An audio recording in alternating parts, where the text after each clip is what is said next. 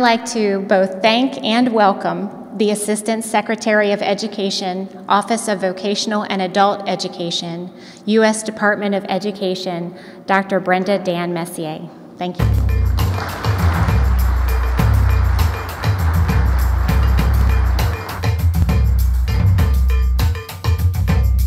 Good morning, everybody. Good morning, everybody.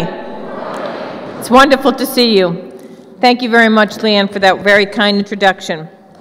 And for those of you who were able to attend the banquet last night, it was such a treat to have my boss, Secretary of Education Arne Duncan. He also here and talked to the members. He also met with the board of directors to discuss our administration's priorities, and they had, frankly, a very lively discussion.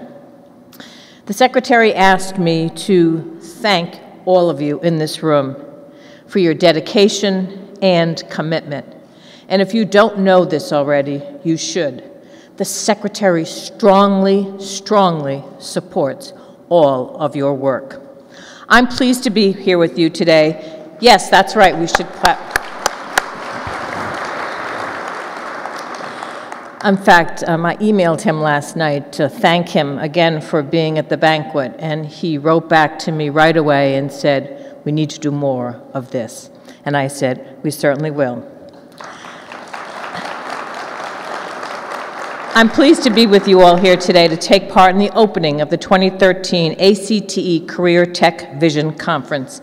And Leanne, thank you again for inviting me, because I always appreciate an opportunity to be with you so that I can formally thank each and every one of you for your tireless leadership and effort on behalf of our nation's career and technical education students. I also want to take a moment and thank Leanne your new ACTE Executive Director, for stepping up to take over the leadership of your organization. Please join me in showing our appreciation for Leanne. Thank you, Leanne. Last week, Leanne uh, and I met, along with Kim Green from the uh, State Directors Association and our staff, and we agreed that we would meet quarterly because, as Leanne mentioned in her remarks, it is vitally important for all of us to seize this moment and all work together to promote high quality career and technical education all across our country. I also want to thank the ACTE staff for orchestrating yet another wonderful conference here in Las Vegas for administrators, teachers, faculty, business and industry representatives, researchers, and other key stakeholders to share the latest information and best practices in career and technical education. And I want to take this moment to recognize and thank the outstanding OVAE staff who are here in attendance. Would Sharon Miller and her staff please stand so we can thank you for all of your great work. Sharon, Albert, Margaret, thank you. I hope you'll have an opportunity to attend their sessions or otherwise connect with them so you can hear about the many exciting national initiatives we have underway in the department.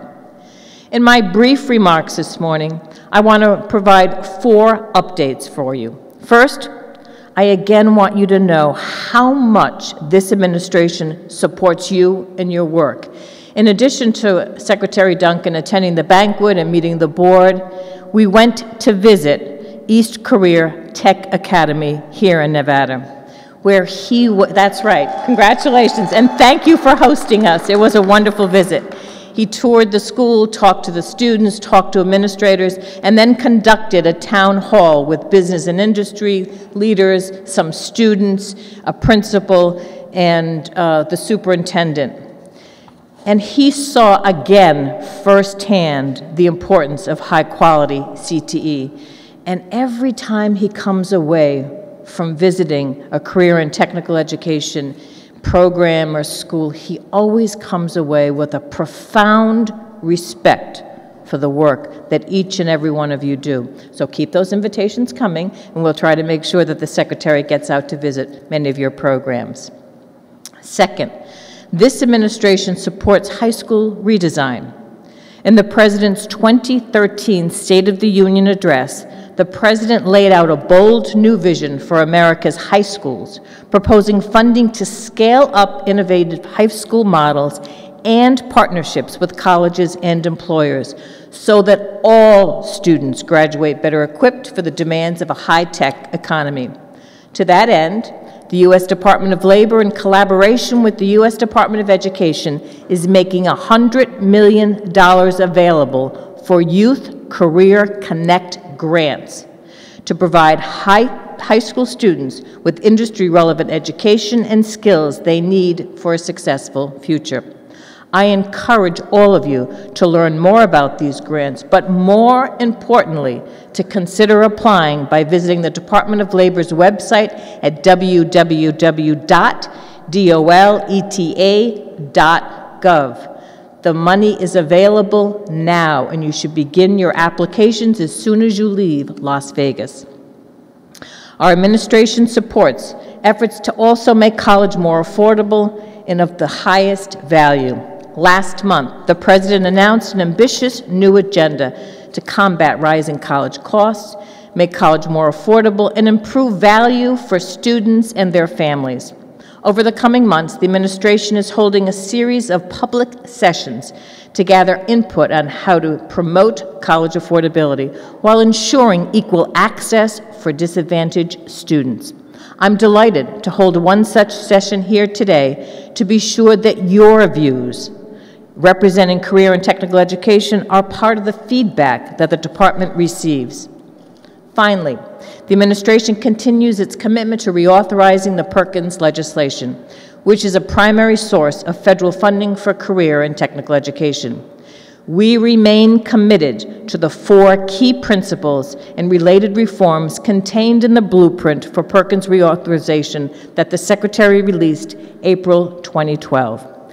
These principles are effective alignment between CTE and labor market needs to equip students with the skills they need for in-demand jobs within high-growth industry sectors. Strong collaborations among secondary and post-secondary institutions, employers, and industry partners to improve the quality of CTE programs meaningful accountability for improving academic outcomes and building technical and employability skills in CTE programs. And fourth, emphasis on innovation by promoting systemic reforms in state policies and practices that will support the implementation of effective CTE practices at the local level. We are delighted, as Leanne mentioned, that the House Committee on Education and the Workforce has begun hearings on Perkins reauthorization.